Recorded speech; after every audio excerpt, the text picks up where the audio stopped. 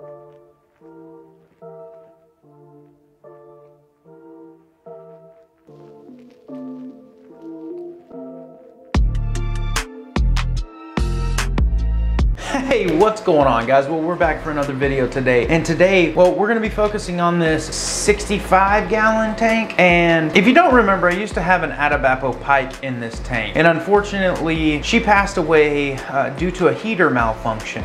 We had put a baby arowana in there. And when she had passed away, I needed a place for that baby arowana. I ended up returning the baby arowana to the store. And during that whole process, Brenton actually gave me his huge arowana from his tank, which is actually right right here behind me in this indoor pond. So I never went back and got that baby arowana. So this tank has been sitting empty for some time now and I've just been trying to figure out what I was gonna do with it. Well, this 65 gallon really needed to be rescaped and made into a proper home for some sort of a fish. So what we're focusing on today is how we actually scaped this tank, the materials that we used, why we kind of scaped it the way that we did, and you know, those kinds of things. So hopefully hopefully you guys learned something today. You know, hopefully you enjoy the content. I'm actually gonna go ahead and ask you right now, can you go ahead and drop a like on this video? If you can, I am truly grateful for the support. So let's get into this and take a look at some of the supplies that we're gonna be using today. All right guys, well we're gonna start here with our different types of substrates and materials that we're gonna be using. We're gonna start with this coarse sand. This is an all-purpose sand that you can actually buy at Home Depot for about $6 a bag for a 50 pound bag. This has uh, some gravel pieces in it. Then we're gonna move and kind of grade it out to a more fine sand, which is this sand right here. This is just your standard silica-based pool sand. The great thing about this stuff, and I have to thank my buddy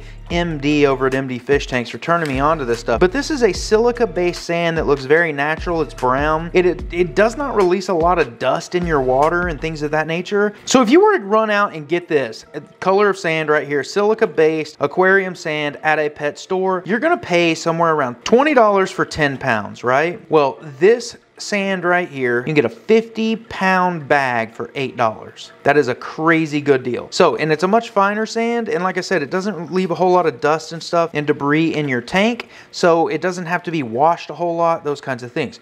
Great substrate. And you'll see that in this tank today. Then we're gonna move to this more rocky kind of gravel here. And then we'll finish it off with some of these little finer details. Now our hardscape is gonna consist of a stone that is like this right here and a lot of stone. And then we're gonna be using some wood. Now I don't know that we'll be using this kind of wood right here, but there will be wood pieces such as this.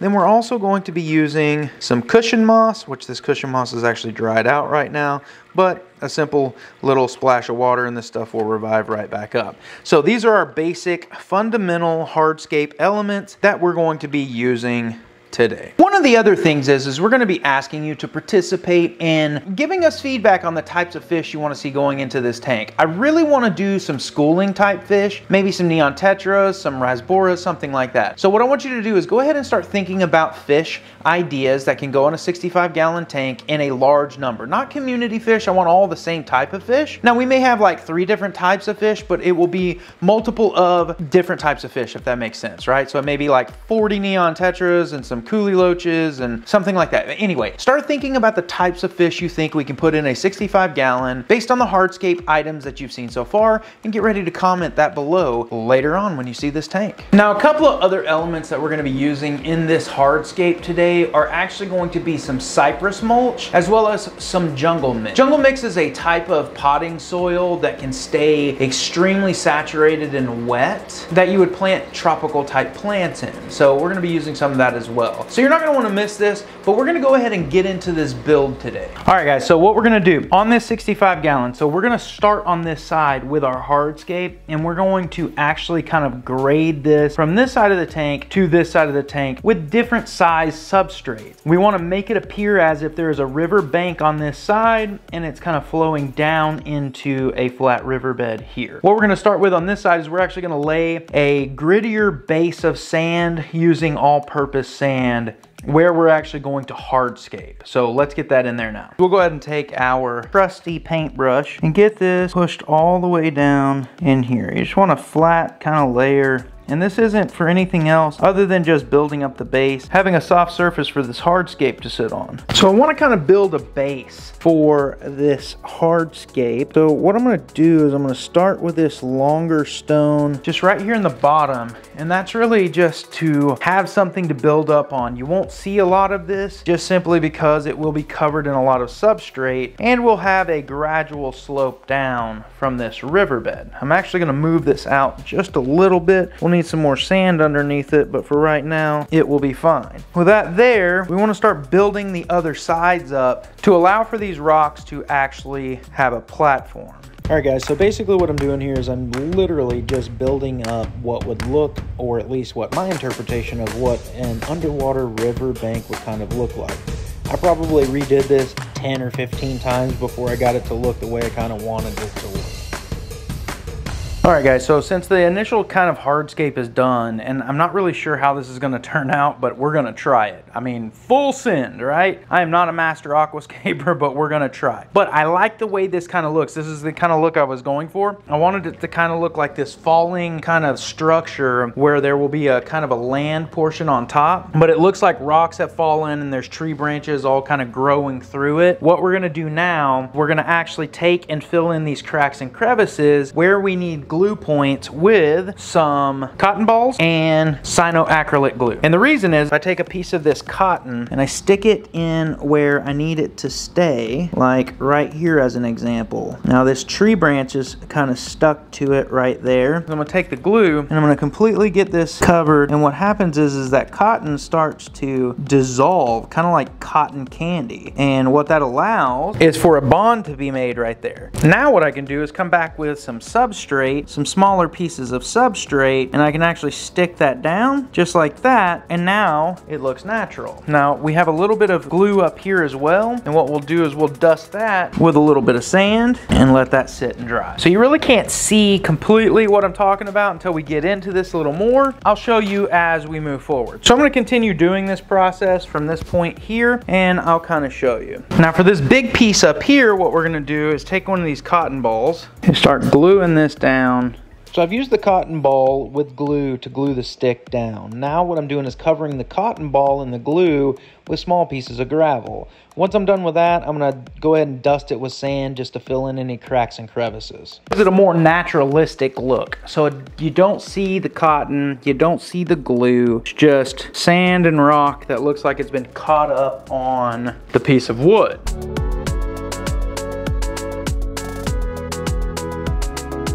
So now what I'm doing is just putting some water on the substrate or this sand because I need to be able to first off have natural erosion occur because that's going to occur. That way we can then correct where we need to.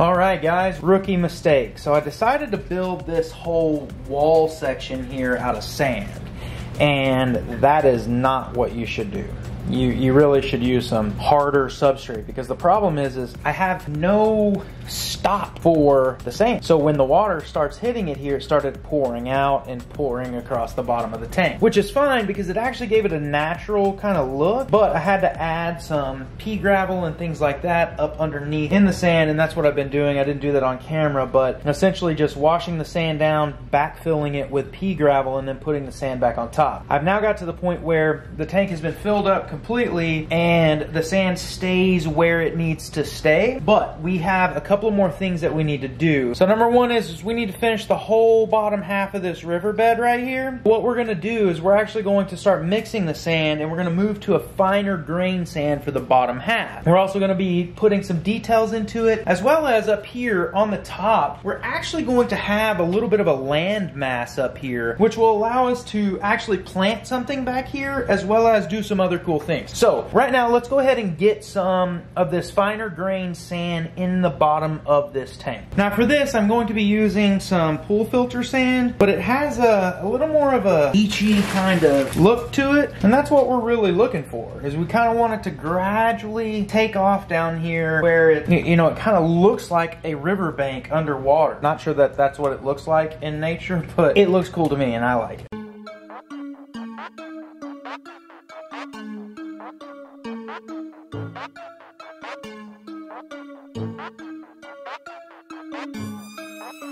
What we're gonna do now is we're gonna add a little detail. Before we do that though, we actually need to use the paintbrush and just kind of get this sand looking a little more natural around these rocks. And really you can do that just by brushing it down. The water will actually kind of flatten the sand out a little bit as well, just simply because of the fact that it's currently dry. What we're gonna do now, take some little detail rocks and just throw these larger detail rocks out into this riverbed. And now what we'll do is add some more of these smaller rocks giving it a very natural appearance as if the water has washed away this creek bed and has exposed the natural rock. And you kind of want it to flow this way because this is the flow of the river. So it's going to be more dense as far as the details here and less as you get down here. I think it looks pretty good. Looking up here now, I have this black planted substrate that's kind of up in here just backfilling this area right here.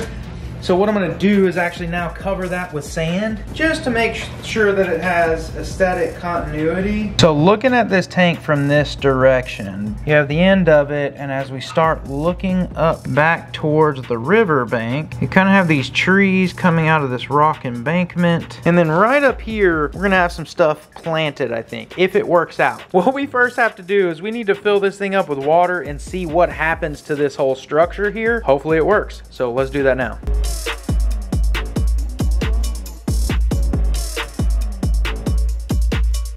All right, guys, well, what we're gonna do right up here is we're actually going to plant a rabbit's foot fern. I actually put a little cup back here to hold the plant, and that cup has holes in the bottom to be able to saturate the soil of this fern because that is actually what this particular fern likes, is a very, very moist soil. So we're gonna put that right there, and then we're actually gonna add a couple more details here just to kind of fill this in to make it more naturalistic looking. First thing we're gonna add is something called called Jungle Mix. And Jungle Mix is a soil, it's a really good soil for planting and things of that nature. And then we're gonna fill in some of these bigger spots that need some fill with some cypress mulch. The cypress mulch has actually been soaking in some water. That way it will sink if it falls into the water. This will give us the ability to kind of hide some of these imperfections from the sand struggling to you know, keep its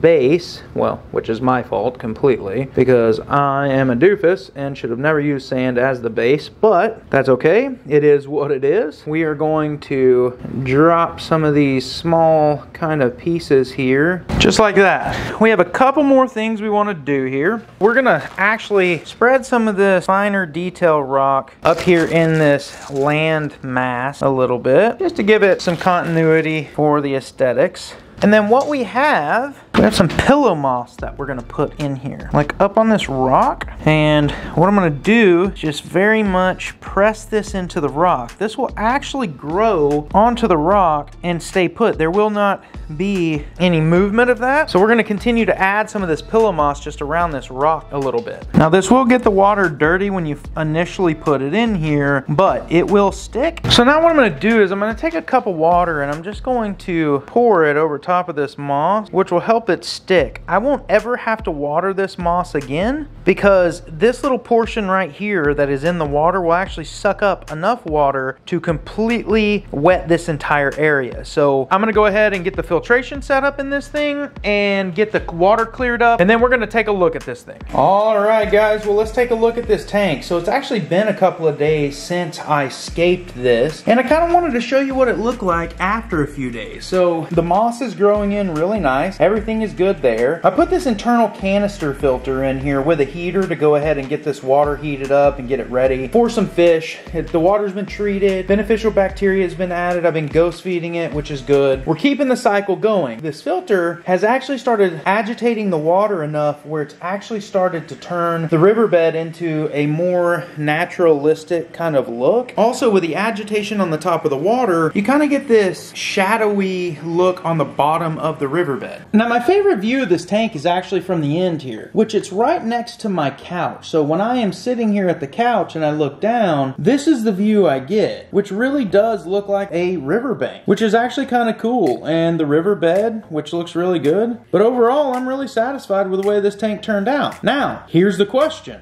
What do you guys think that we should put in here? I, I really truly believe that maybe we should do some sort of a schooling fish or something like that. I asked you in the beginning of the video to go ahead and start thinking of fish that you'd like to see in this tank, and here's your opportunity. Go ahead and comment below and let me know. We did a merch giveaway in the last video in the comments, and I'm gonna go ahead and do another one here. So I'm gonna go ahead and wait until the 1st of March. Make sure you go ahead and start commenting now. Comment as many fish as you would like. Also, do you like this scape? If you do, and we can get, let's go big. If we can get a thousand likes on this video, it's not a lot, thousand likes. We've done it many, many times. But if we get a thousand likes on this video, I will go ahead and do another merchandise giveaway in my next video. So go ahead and start liking the video as well. But this tank looks really, really good. So hopefully you guys enjoyed it and you really do like it. And if you want to see more scapes like this, just make sure you hit that like button. But with all that being said, if you have not subscribed or you have not followed me on Instagram, please do that now. Also, I have a Facebook. Please go